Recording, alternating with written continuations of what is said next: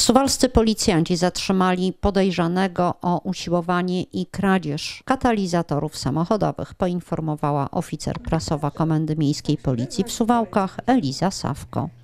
27-latek usłyszał już zarzuty. Jak podaje policja, w połowie marca doszło do kradzieży katalizatora z auta zaparkowanego przy ulicy Sikorskiego.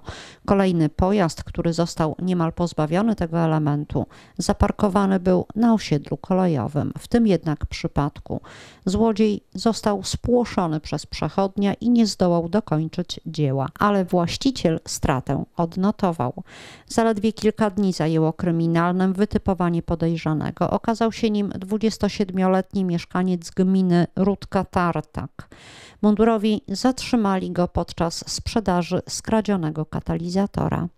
Zgromadzony materiał dowodowy pozwolił na postawienie mężczyźnie zarzutu kradzieży i usiłowania kradzieży, informuje rzecznik policji, wskazując, że sprawcy grozi kara sięgająca aż do pięciu lat pozbawienia wolności. Na taką samą karę może liczyć 31-letni amator łyski.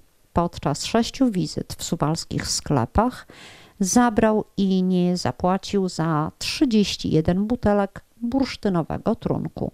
W kieszeni zostało mu 5 tysięcy złotych, a teraz zaoszczędzi jeszcze więcej na wikcie i opierunku bo sąd właśnie umieścił go w areszcie tymczasowym na okres trzech miesięcy, podczas których z wiadomych względów delektować się ulubionym alkoholem nie będzie. Policjanci od kilku tygodni dostawali sygnały, że ze sklepowych półek znika bez zapłaty jeden rodzaj alkoholu.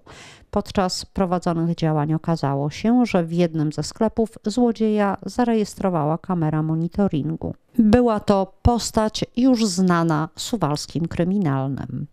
Znajomą twarz niebawem po tych ustaleniach dostrzeżono w pobliżu jednego ze sklepów przy ulicy Sikorskiego.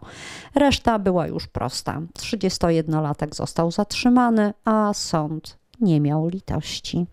Do rozstrzygnięcia pozostaje kwestia, jak długo koneser szlachetnego trunku zmuszony będzie pozostać w abstynencji.